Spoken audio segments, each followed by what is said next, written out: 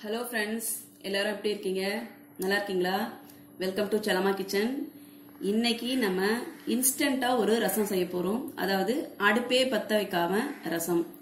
அது எப்படின்னு கேட்டீங்கன்னா இந்த மில்க் ஷேக்ல தான் பண்ண போறோம். இது டப்பர்வேர் ப்ராடக்ட்ஸ் மில்க் ஷேக்கு இதை வச்சு தான் நம்ம இன்னைக்கு ரசம் செய்ய போறோம். அதுக்கு தேவையானது இந்த ரசப்பொடி. ஃபர்ஸ்ட் ரசப்பொடி செய்யறதுக்கு தேவையான பொருட்கள் என்னென்னு பார்த்துக்கலாம். மிளகு ஒரு டேபிள் ஸ்பூன் எடுத்திருக்கேன்.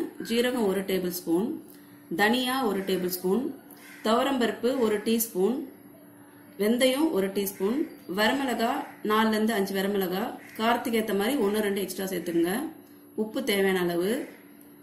இதை இப்போ நான் நம்ம எல்லாம் நல்லா வறுத்து பொடி பண்ணி அரைச்சி வச்சுக்கலாம். இது பத்துலேருந்து ஒரு பன்னெண்டு ஸ்பூன் அளவு வரும். இதை நம்ம ஒரு அஞ்சு முறை ரசம் வைக்கிறதுக்கு யூஸ் பண்ணலாம். இப்போ இது எப்படி செய்யறதுன்னு பார்க்கலாம் வாங்க. இப்போ நம்ம இந்த மிளகு சீரகம் எல்லாம் வறுத்து அரைச்சி பொடி பண்ணி வச்சிருக்கேன் ரசப்பொடி. நல்லா மனமாக வாசமா இருக்கு. இப்போ இந்த பொடியை வச்சு நம்ம இன்ஸ்டண்டா எப்படி ரசம் செய்யறதுன்னு பார்க்கலாம். இப்போ அதுக்கு தேவையானது இந்த மில்க் ஷேக் எடுத்துங்க.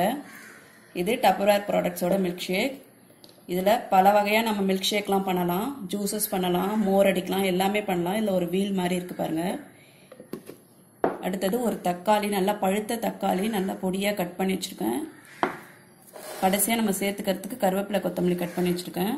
லெமன் ஒரு ஆஃப் லெமன் நல்லா புழிஞ்சு இதில் சேர்த்துக்கலாம். நம்ம புளி சேர்க்க போகிறது இல்லை இந்த லெமனை தான் சேர்க்க போகிறோம் தேவையான அளவு உப்பு. சுடு தண்ணி ஒரு த்ரீ ஹண்ட்ரட் எம்எல் எடுத்திருக்கேன் அதாவது ஒன்றரை டம்ளர் இருக்கும். இது சின்ன டம்ளரில் ஒன்றரை டம்ளர் செக் பண்ண போகிறோம் இப்போ இந்த மில்க் ஷேக் எடுத்துங்க. இதில் ரெண்டு டீஸ்பூன் அளவு இந்த ரசப்பொடி சேர்த்துக்கலாம்.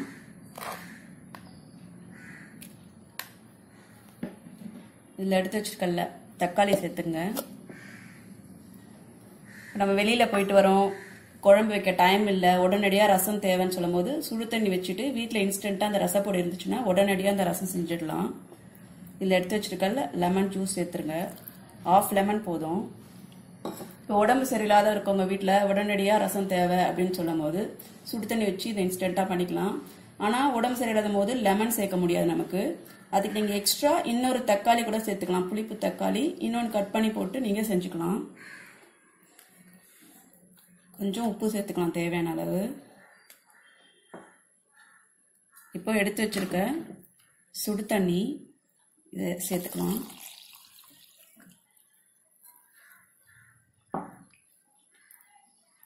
இப்போ ஐடி பீப்புளில் ஒர்க் பண்ணுறவங்க ரூம் எடுத்து தங்கியிருப்பாங்க. அவங்களுக்கு இப்போது சமையல்லாம் அவ்வளோவா செய்ய தெரியாது. ஸோ அதுக்காக இந்த ரசம் டிப்ஸ் சொல்லியிருக்கேன் நான். இது இன்ஸ்டண்ட்டாக உடனடியாக செய்யலாம். இதை நல்லா லாக் பண்ணிக்கணும்.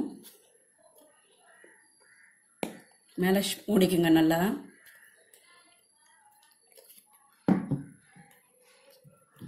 நல்லா பிடிச்சிட்டு இதை நல்லா இப்படி இப்படி ஷேக் பண்ணணும். கொஞ்சம் நடு நடுவில் இதை திறந்து விட்டுக்கலாம். ஏர் போகணும்.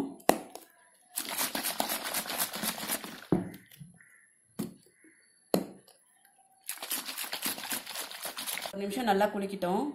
இப்போ எடுத்துட்டு இப்போ கருவேப்பிலை கொத்தமல்லி லாஸ்ட்டாக சேர்த்துக்கலாம்.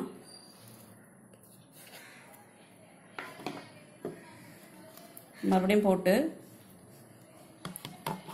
ஒரு ரெண்டு ஷேக் பண்ணிக்கோங்க. நம்ம வீட்டுக்கு உடனடியாக யாருனா கெஸ்ட் வந்துட்டாங்க. உடனே ரசம் பண்ணணும் போது நம்ம இது செஞ்சுக்கலாம்.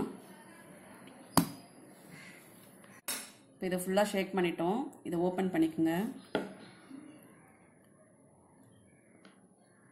இதை ஒரு பவுலில் ஊற்றிக்கலாம்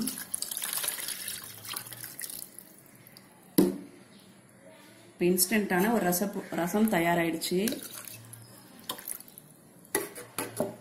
இப்போ உப்பு மட்டும் நீங்கள் பார்த்து எக்ஸ்ட்ரா வேணுன்னா உப்பு சேர்த்துக்கலாம். சூப்பராக வந்திருக்கு ரசம். கண்டிப்பாக வீட்டில் நீங்கள் ட்ரை பண்ணி பார்க்கணும். கெஸ்டெல்லாம் வந்துட்டாங்கன்னா உடனடியாக செஞ்சு அசத்தலாம். இது கண்டிப்பாக ஒரு மூணு பேர் சாப்பிட்ற அளவு வரும். ஒன்றரை டம்ளர் தண்ணி போதும்.